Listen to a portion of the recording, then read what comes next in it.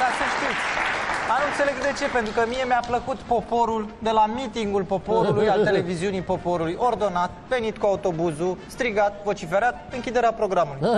și ce ne ce a zis? N-auzi ce a zis? Închiderea programului. Iată imagini de arhivă de la sediul Zero TV. Următorul care urmează. Păpușe! Ce ai primit, mă, că ți-aș fața ta de o tevistă, hă? Ministrul Sănătății? Eu? O să fiu ministru! O să fiu ministrul Sănătății? Ah, Ce e sănătate? Auzi, guriță, fii atent aici. Ia cartea mea de vizită, are mandea o firmă de transport medicamente, înțelegi? Medicamente, Da. medicamente! Să le iau? Nu, tu te și așteaptă-le. Doamne. Cine a stins lumina? Să trăiască domnul Dan Diaconescu, că ne-a scos din foame. Moșule, măcați-și mulțumirile matale. Ce ai? A? Ce ai? Am prostată, mărită fiule. Dacă aia 20 de mii de euro primiți de la domnul Dan Diaconescu, binefăcătorul nostru, am să-mi cumpăr una nouă. Da, tată, fițar prost. Au, Vezi, matale, ce minister ai primit? Ministere?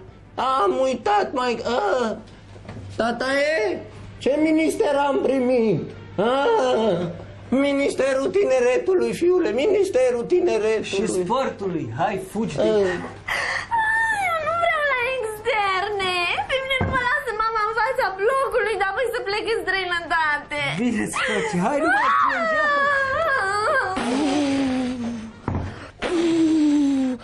Gata cu funcțiile azi. Eu, eu vreau Ministerul Economiei. Doamne, Ionico, eu ce mă fac? Haideți! Unde să merg? Trăiți, domnul Dan? Deci s-a blocat robinetul, cine aul? Îl face băiatul să trăiți. Era să uit. Uh, mai țineți niște licență.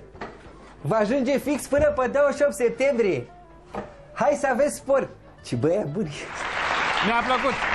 Cam multă licență. Cred că au ceva de bit verbal la Zero TV, să știi. Trecem de la televiziunea farsă la farsă în televiziune. Ți-a plăcut?